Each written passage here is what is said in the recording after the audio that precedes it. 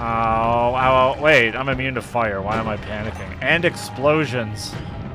Ha ha! Ha ha!